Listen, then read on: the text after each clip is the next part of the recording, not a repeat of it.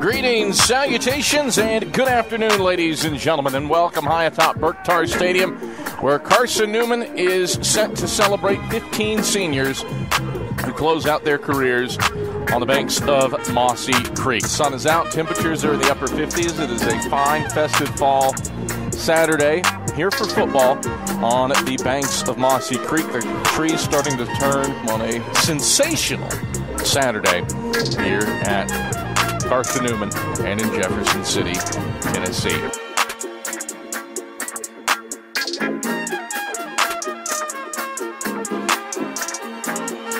Eagles go with a handoff right side, and this is into the second level for the Eagles. Cutting back left, and now to the right across the hashes. It's E.J. Davis. Davis inside the 20 and 10. Davis outraces everybody to the end zone. Touchdown, Carson Newman. A nice 69 yard run play from scrimmage. And the Eagles are up 6 0, 18 seconds in.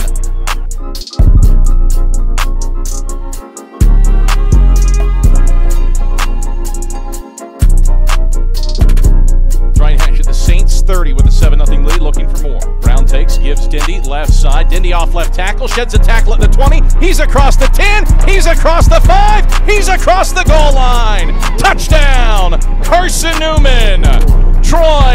Dindy, 30 yards off left tackle.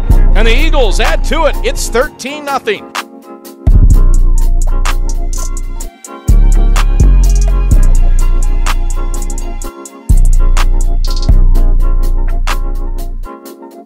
Brown takes the shotgun snap. He's going to air it long for Dudley. Dudley runs underneath it at the five, and Dudley houses it on the left sideline. Touchdown, Carson Newman. Daquan Dudley flipping in celebration. That'll draw some hankies, but Dudley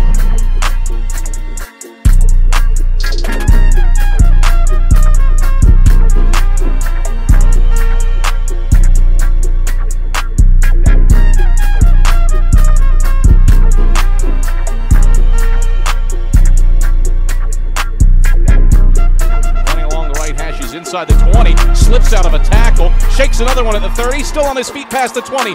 Dindy inside the 10 and 5. Dindy, a Houdini like run, escapes and scores. Touchdown, Carson Newman. Dindy puts Carson Newman in front. The Eagles sniff it out and are able to pick up the victory. The final score 27 to 21. Carson Newman takes it over the Limestone Saints. And Carson Newman's able to come out of here with a victory and certainly cause for celebration for this group. They'll get that win. First time this year that they taste that in a home game, their final home game of the season.